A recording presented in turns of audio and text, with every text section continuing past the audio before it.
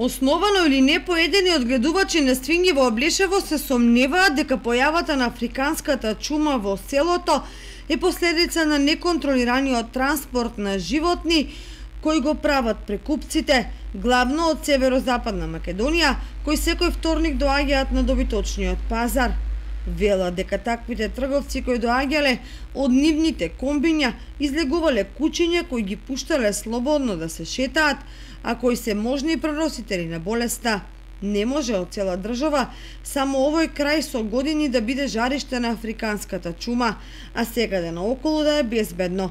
Но ќе видите дека откако ќе ги истребат, тука ќе се префрлат во друг регион.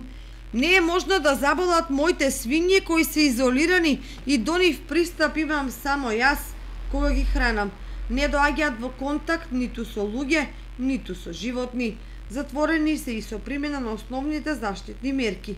Сигурен сум дека се здрави, ама поради мерката мора да бидат уништени и фрлени во јами.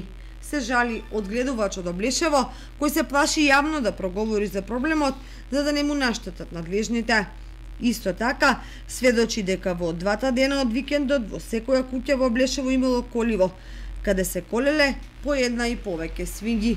Одгледувачите велат дека државата е одговорна за ширењето на болеста, бидејќи не ги преземала сите превентивни мерки откако се откриени првите случаи во Каменичко.